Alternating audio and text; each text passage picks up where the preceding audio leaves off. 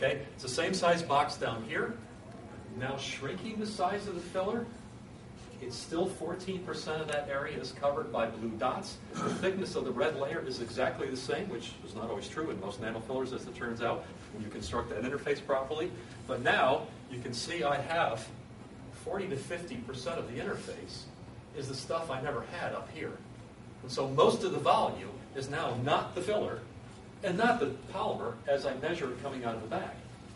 Okay, in fact, this underestimates the real effect because it can be 60 or 70 percent. So anybody who's taken a simple engineering course knows most of the time you would model such a thing by rule of mixtures.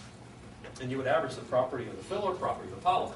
The problem is you forgot the 60 percent that's the interface that has the properties of neither one of those things you put in. So if you don't understand the interface, then you never get maybe either get surprises or you never understand that the properties are now dominated by that red interface. And that's what we want to understand and, of course, utilize for, for devices and properties. Um, so this is maybe one of the, our favorite examples. We did this one ourselves.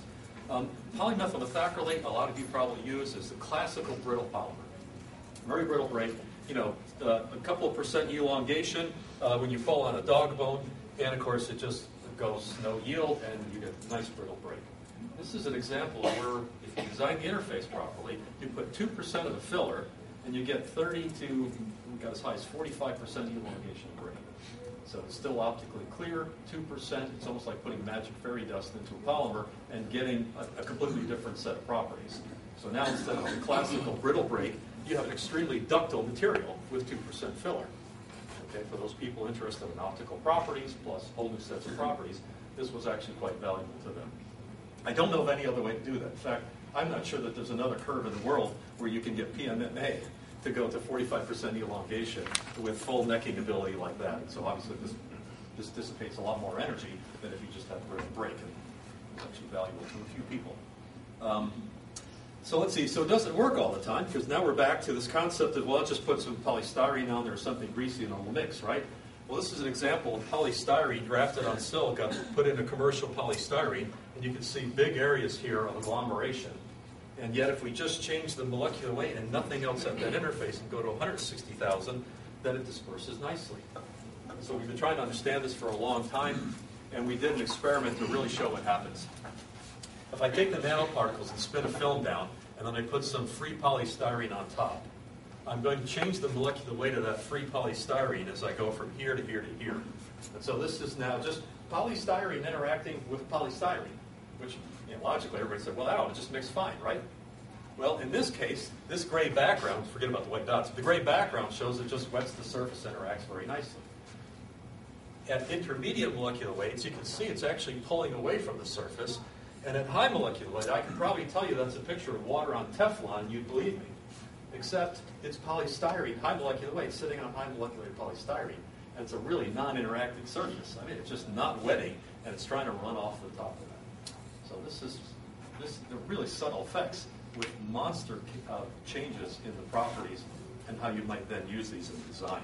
It's kind of one of our favorite examples too. Um, and, and if we do, uh, if we now we're going to make full dog bones and do some other properties. So polystyrene, everybody knows melts a little over 100, and then eventually by the time you get to the kind of 150, 60, it's just going to flow because it's a non-crystalline material.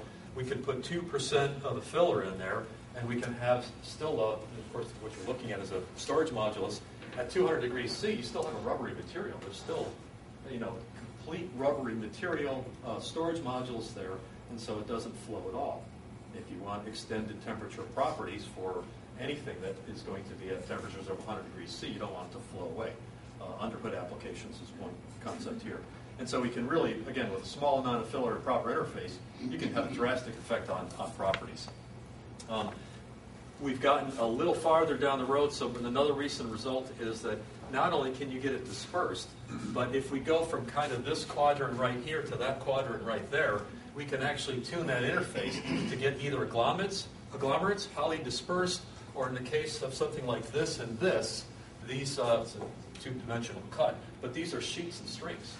So now we're putting nanoparticles in polymer, and they will self-assemble into very long strings or sheets, which changes the rheology uh, immensely, as well as some properties. This is some pretty recent work, and we're still playing with understanding why that happens and, and what we can do with it.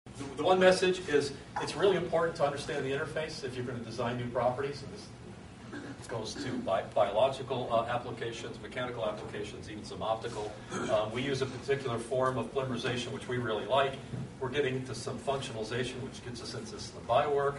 And then, you know, the main message here, it's all about the interface. If you don't understand that, you can't design properties very well. But if you do, and you can tailor it, you can get into an awful lot of different fields as we are.